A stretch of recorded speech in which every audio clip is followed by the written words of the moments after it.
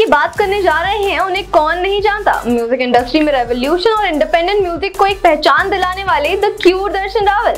जितने लोग इनके सिंगिंग के फ़ैन हैं, उतने ही लोग इनके क्यूटनेस और स्माइल के भी। नमस्कार, मैं हूँ साक्षी गिरी और आप देख रहे हैं कमाल ज़िंदगी।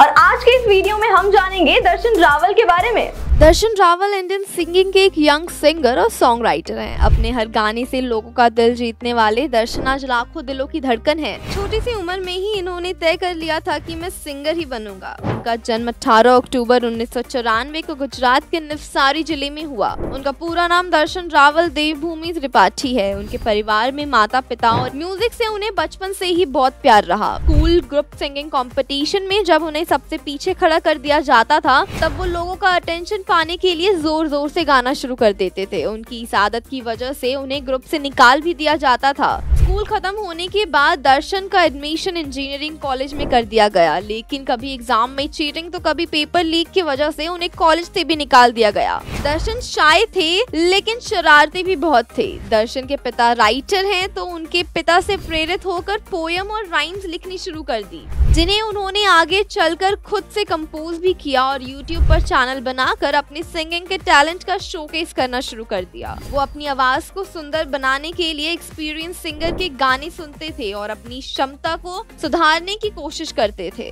धीरे धीरे उन्होंने अपनी सिंगिंग स्किल्स को इम्प्रूव किया और बड़े पब्लिक इवेंट में गाने का मौका प्राप्त किया। हालाँकि दर्शन रावल की सक्सेस का रास्ता काफ़ी चैलेंजिंग भी रहा। पहले वो गुजरात में गाने की कोशिश करने लगे, लेकिन वहाँ म्यूज़िक इंडस्ट्री बहुत ही डिफ़िकल्ट थी। तब उनके पिता ने भी उन्हें समझाया कि ये बहुत ज़्यादा कॉम्पिटेटिव फ़ील्ड है और उन्हें पूछा कि दर्शन कैसे बॉलीवुड में सिंगिंग का सपना पूरा करेंगे। तब दर्शन ने कहा कि वो यूट्यूब पर इंडिपेंडेंटली काम करके एक दिन ज़रूर वो मुकाम हासिल करेंगे। इसके कुछ वक्त बाद दर्शन को स्टार प्लस के शो इंडिया रॉ स्टार से ऑडिशन के लिए कॉल आया। तब दर्शन को लगता था कि सारे रियलिटी शो स्क्रिप्टेड होते हैं तो उन्होंने मना कर दिया। लेकिन थोड़े वक्त बाद उनके पास फिर एक कॉल आया, जिसमें उन्होंने कहा कि वो अपने खुद के लिखे हुए गाने भी गा सकते हैं। तब दर्शन ने एक ट्राई करने का सोचा और उनका सिलेक्शन भी हो गया। फिर उन्हें मुंबई बुलाया गया और इस शो ने उनकी किस्मत ही बदल डाली। उन्होंने मुंबई शहर की ओर देखा और अपने सपने पूरे करने के लिए शहर में आ गए। दर्शन को ज़बरदस्त सफलता 2014 में शो इंडिया रॉ स्टार के सीज़न वन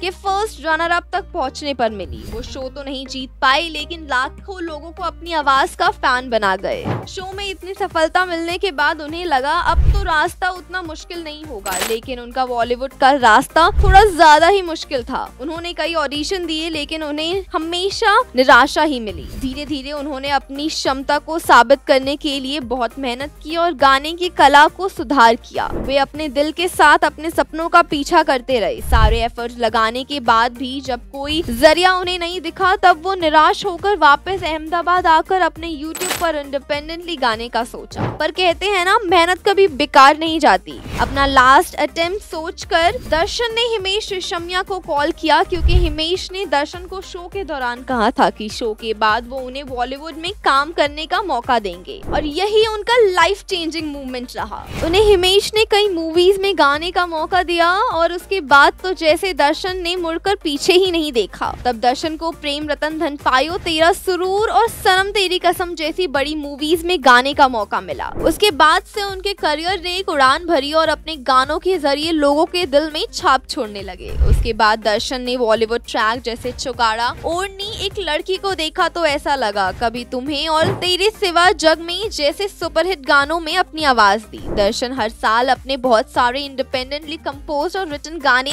गाते हैं, जो लोगों को बहुत पसंद आते हैं। दर्शन का रिसेंटली रिलीज़ हुआ सॉन्ग माही है जिन्ना सोना भी लोगों को बहुत पसंद आया। इसके अलावा दर्शन इस साल एक बार फिर अपनी म्यूज़िक एल्बम दर्ज 2.0 के साथ तैयार है अपने फैंस का दिल जीतने के लिए। साल 2020 में भी दर्शन की म्यूज़िक एल्बम जुदाइया लोगों को बहुत पसंद आई थी। दर्शन के मोस्ट हर्ट सॉन्ग में से तेरा ज़िक्र बारिश, लेते आना दो दिन, बेदुखी, खींच मेरी फ़ोटो भुला दूँगा सब तुम हो और पहली मोहब्बत शामिल। शामिल है। दर्शन अपने रेन सॉन्ग्स के लिए जाने जाते हैं। आज दर्शन रावल एक यंग और फ़ेमस सिंगर हैं। उन्होंने अपने गानों के साथ साथ अपने चाहने वालों के दिलों में बसने का काम किया है। उन्होंने म्यूज़िक कंपोजिंग के ज़रिए अपने सपनों को साकार किया है और आगे बढ़कर और भी बड़ी सफलताएँ हासिल की। उनकी कहानी हमें ये सिखाती है कि अपने काम को लेकर क्लैरिटी हो तो मेहनत करने से फल मिलता ही है। तो दोस्तों, ये थी दर्शन रावल की कहानी। उम्मीद करते हैं उनके यूँ ही बेहतरीन सॉन्ग और एल्बम आते रहें। ऐसे ही प्रेरणादायक कमाल वीडियोस के लिए देखते रहे कमाल ज़िंदगी। Please like share and subscribe